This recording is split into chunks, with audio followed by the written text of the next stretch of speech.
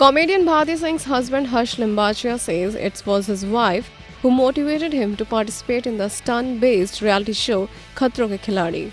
When I was offered the show, I wasn't quite sure and had second thoughts about taking it up. My wife, Bharti, always encourages me to take up different challenges off screen and on screen. Because of her motivation, I could also perform a lot of stunts, including the ones involving reptiles, which was my biggest fear, he said in a statement.